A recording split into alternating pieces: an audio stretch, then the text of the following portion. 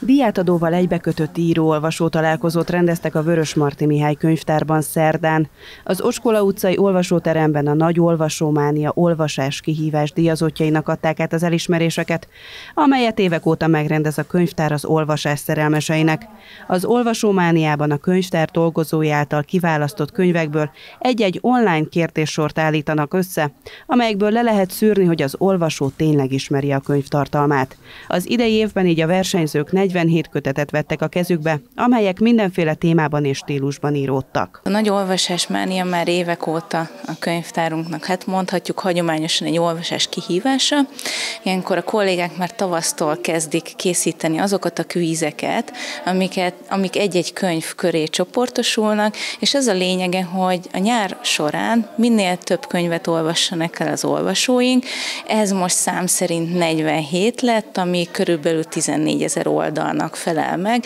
Az első helyezett ugyanis ennyit olvasott el. Az eredményhirdetés után pedig Marton Gábor Márk vette át a szót, aki Görcs Anna Marival beszélgetett. Anna Mari első regénye 2023-ban jelent meg Lányregény címmel. Ennek kapcsán beszélgettek a kötet témáiról az író-olvasó találkozó alkalmával.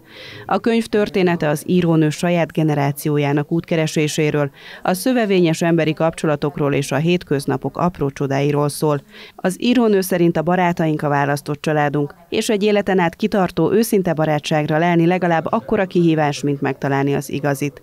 Éppen ezért a cím hiába sugalja azt, hogy fiatal nőknek szól, Görcs Anna Mari minden korosztályt megcéloz vele. A címe lányregény, tehát ha mondhatjuk így, akkor végül is elsősorban ugye női olvasókat, de nem szeretném ennyire behatárolni, mert szerintem emberi kapcsolatokról szól, és ennek a szövevényességéről.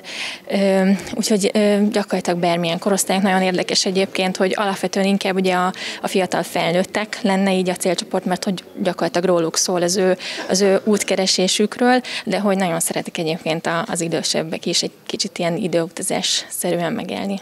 A beszélgetés során szó esett Görcs Anna Mari írói múltjáról és a jövőbeli terveiről is, hiszen már készül következő kötete, a Tündérmese.